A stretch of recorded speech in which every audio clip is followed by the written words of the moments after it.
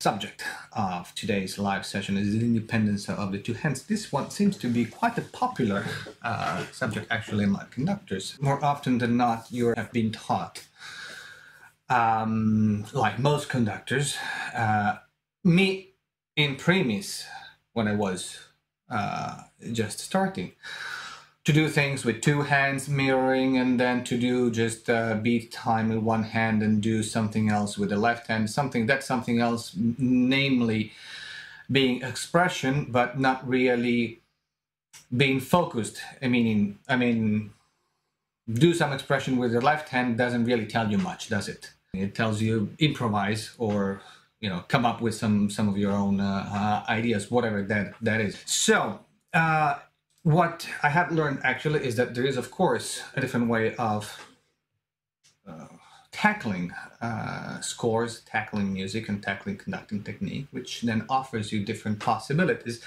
including doing two things at the same time, which is very effective and very useful, especially in some kind of music. However, let's not get ahead of ourselves. And um, for the first thing, we're going to look at something uh, for alternating hands. Now, what you see here is uh, a normal uh, seating that you can have nowadays, where you have the first violins on your left, then you have the cellos next to the first violins, the basses behind the cellos, then you have the violas, and then you have the second violins on your right. For the first thing that uh, uh, we're going to take, take a look at it's an exercise for alternating hands. It's actually quite it's a easy uh, way to um, to begin.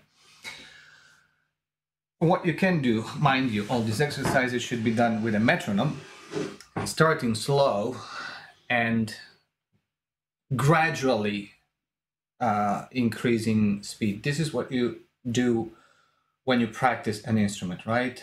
Uh, whatever instrument you practice and you play, you have a particular passage, what you do, uh, you start slow, you slow it down, you put the metronome at 60, 70, and then you move up until you reach the desired speed. And this is exactly the same thing. Con studying conducting technique is exactly the same thing. Same train, same, same kind of uh, thinking.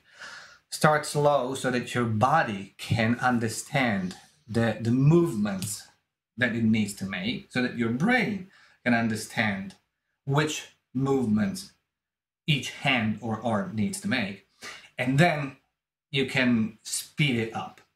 So uh, for this first uh, um, exercise, which I say is quite easy, it's about alternating hands, meaning that which comes very useful, for instance, when you have to cue different section. Taking this seating uh, you are on the podium, so let's assign the right hand of the stage, so the violins and viola, to uh, the right hand, and the left part of the stage, so violins, cello, and basses, to the left hand. Okay?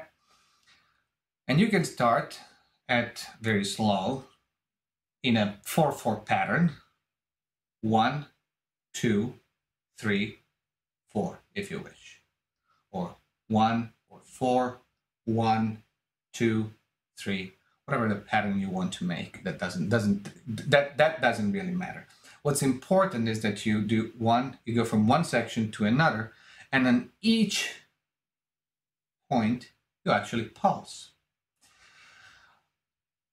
This helps you in one very simple thing, starting to think ahead of who you need to cue and when. So once you cue the second violins, then your mind should already be going towards the violas, which are your next cue, and then towards the first violins, which are your next cue, and then eventually, if you have them, towards the cellos and the, uh, um, and the basses. In which case you think second violins, violas, first violins, basses, second violins, violas, first violins, basses. One, two, three, four. One, two, three, four. And once you've cued one section, you move physically your arm towards the other the, um, the, the next session.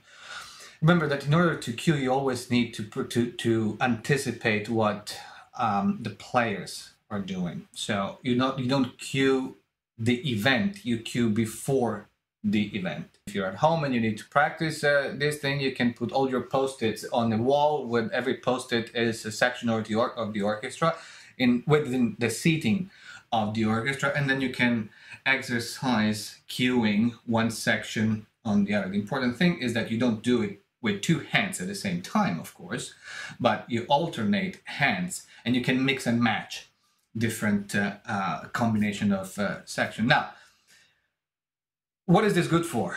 Well, let's take the, our first example.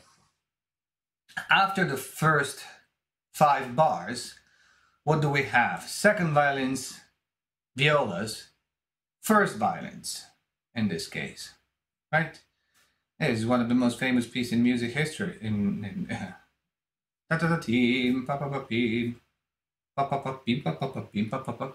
One, two, three. Second violins, violas, first violins.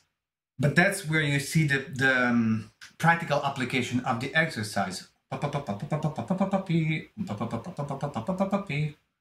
Left hand, uh, sorry, right hand, right hand, left hand, right hand, right hand, left hand. Now, this is not doing uh, two different things at the same time. It's alternating hands, but it's a good way to start and ease yourself into starting to think of not two hands at the same at the same doing the same thing at the same time. Which means that one when you um, move your right hand the left hand doesn't move. When you move your left hand the right hand doesn't move. And then you end up doing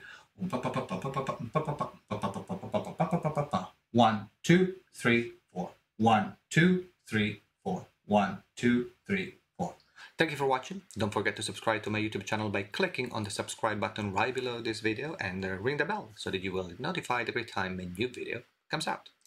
Let me know in the comments what you think about this video, if you have any suggestions for future ones, and I look forward to seeing you in the next episode of this series. In the meanwhile, please continue to enjoy music and be well. Ciao!